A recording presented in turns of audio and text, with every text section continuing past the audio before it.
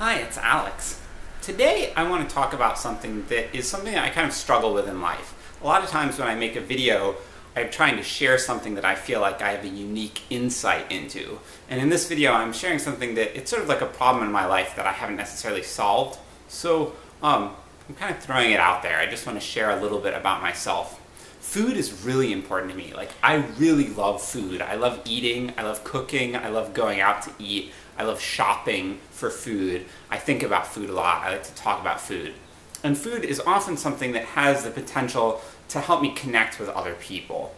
But it's also, unfortunately, something where it also has the potential to sort of make me feel disconnected from other people. And I want to share something that I struggle with a lot. This happened the other day.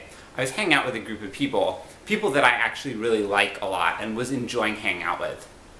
And we were talking about where we wanted to go to lunch.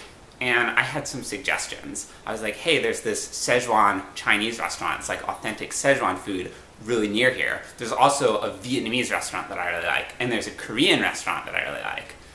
Uh, and some of the people there, though, were like not too thrilled about these ideas. And so we ended up agreeing on Applebee's as sort of the like least common denominator, the like least strongly disliked of the option options available. And I wasn't wasn't really too thrilled with this outcome. I don't really like Applebee's. I think it's rather overpriced relative to the quality and level of like excitement that I get out of the food. Um, and I, I just don't like chain restaurants very much across the board. Like I find that them kind of uninteresting.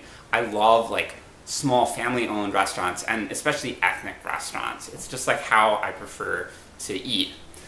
And it's not just like my taste in restaurants that I feel disconnects me from people sometimes. Like there's a lot of stuff in our society that I feel is really common, especially like sweet foods, that I tend not to like as much as most people. I just tend not to like sugary foods very much. I'm not a big fan of ice cream, not a big fan of cake. I love like rich, fatty cakes like cheesecake and stuff. I love chocolate chip cookies, but like just typical cake, I tend not to like it, like a birthday cake at a party, that kind of thing. Uh, and it seems like most people like that kind of thing, and most people like just generic vanilla ice cream, whereas if you just sort of pick a vanilla ice cream and present it to me, I'd rather probably not eat it, even if I'm a little bit hungry. I'd have to, have to be pretty hungry to want to eat vanilla ice cream.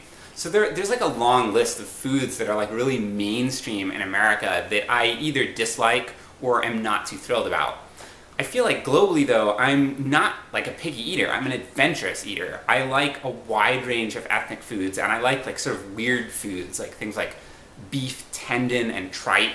I like octopus and squid, and not in just like fried calamari where it's like breaded. I like like actually having sauteed octopus and squid or having it in soup. Um, there are a lot of things like that, like just weird herbs and vegetables, spices. I'm just, I like stuff like that. I tend to like traditional foods from cultures that I didn't grow up in and that I only became familiar with as an adult. I'm not 100% sure why, but I've noticed that I tend to feel better after eating these foods. And it's something that kind of divides me from a lot of people. Like, a lot of my close friends aren't as excited about ethnic food as I am and aren't as excited about these sorts of traditional foods. And so it sort of puts me into conflict when I'm hang out with people and people don't want to go to eat at the places that I really feel passionate about going to eat. And then when people want to go somewhere and I, I really like sometimes it's even stronger than not wanting to go there. I honestly find some of the food in some restaurants sort of soul crushing. And I don't think I'm exaggerating to say that. Like, I think it's insipid, and I just get this horrible feeling. I'm like, why am I paying 12 bucks for this meal that is like, I feel bad eating it, I don't enjoy eating it, you know?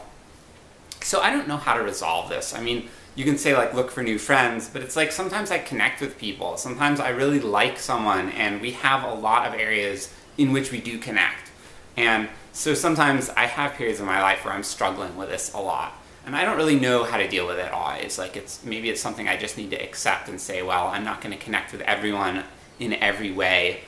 But some part of me wishes I could just like have it all, you know, like I, I want to connect with my friends in the ways I already connect and also connect with them about food.